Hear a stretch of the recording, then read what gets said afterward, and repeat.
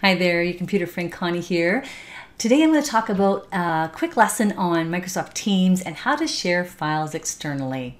So let's say you have a file and you want to send that file out to somebody that's not part of your team. How can you do that? That's what we're going to uncover in this session. I'm going to talk to you about the what this all means first. I'm going to give you this little presentation to start with, and then I'm going to go into a demo within Teams to show you how it works. So stick around to the end so you can see it all. So let's first define what we mean by external. So when we say uh, sharing a file externally, we're talking about we want to send a file to somebody that's not on the team that we're on in Microsoft Teams. Or I want to send a file to somebody that is not in my organization. So they're not from on the same Exchange environment, uh, Microsoft Exchange environment, or they don't have the same email address as I do for based on our organization. So those are the kind of the two main types of people we're talking about when we say sharing a file externally. So let's start with sharing a file um, with people that are external to your team. So these people that are external to your team, we're going to say are still a part of your organization. So you could chat with them and you can upload a file from your OneDrive or from your PC and share it with them. So that's kind of scenario number one. Another scenario is you are sharing a file with somebody that's not part of your organization at all. So what can you do? So what you can do is you can have the files within a team in the files area of teams, but it's a public team that these files are in. So that's kind of the, the, the so that's the criteria here. It's a public team. And then what you're going to do is you're going to open up um, from that file area in Teams, you're going to open up into SharePoint and you're going to see how easy it is to share from there.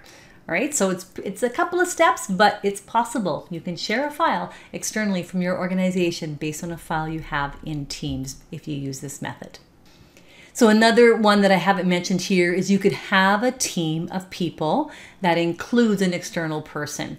So that mean, meaning somebody that's not within your organization. So if I bring in somebody outside of my company into my team, then whatever file I put in that team, they will have access to. So that's kind of the third one. I don't have it on my on my presentation here, but that that one's an extra one.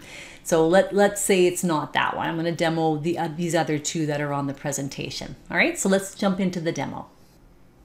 All right, so we're in my team's area, and let's say I want to go to chat and start a chat with somebody to send them a file. I would go to, I can actually just go to this little um, new chat button at the top, or I can go to chat over here and then hit the new chat button at the top. So either one will work. Uh, the name of the person I want to type in that, and if I somebody I've already chat, chatted with in the past, I can just type in their name and it'll come up automatically. So let's say uh, Perry. So I've already chatted with him before, so chats come up.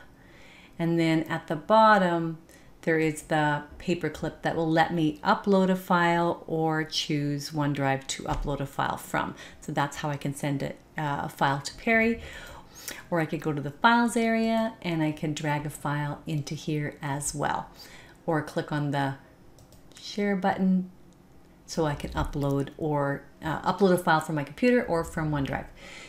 Now, uh, this is for chatting with external people. There are some ifs, ands, or buts about this. There's some conditions around this right now. I'm going to do a separate video on uh, chats with external people, so tune into that one to find out a few of the extra conditions. And also know that um, there is a, a, a release by Microsoft right now that says that they are changing this soon. So in the fall, I believe, uh, of this year, which is 2020, they are looking to change this so that it will be wide open. You can chat with anybody, doesn't matter who they are, as long as they have an email address, it'll let you chat with them. Right now, there's some conditions around that. So I'll, I'll do another video so you can understand the conditions and how to get around that. Okay, but for now, let's just talk about sharing files. So I've, I showed you the me one method of sharing the file through the chat. Let's go to another method.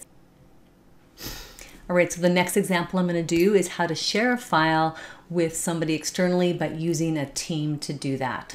The big condition here, you guys, is that this team has to be a public team. Now, what that means is that you have the ability to share stuff from this team to the public. It's someone external, right? Um, it does not mean that anybody can see this team or the data within it. It does not mean that. So let's be clear on that. It doesn't mean anybody can go in here and just look at it. You still have, it's still locked down. It just means you have that ability for sharing purposes.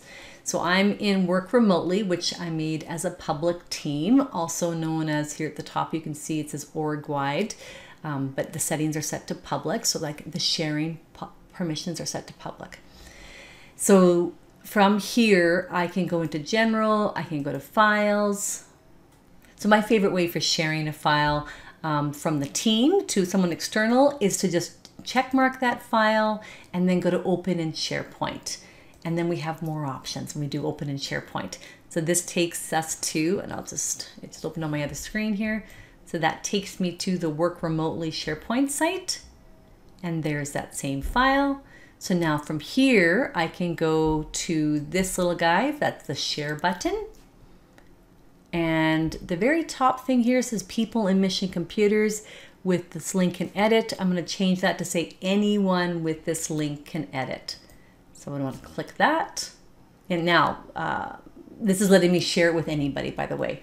If I don't want anyone to edit, I can turn editing off, but still let every and somebody with the link actually see it, right? And then I have some other options down here. So I'm going to just leave it, anyone can edit and apply. And then I can type in any email address on the planet. It does not, there's no conditions at this point. So let's say, uh, what email address am I going to use?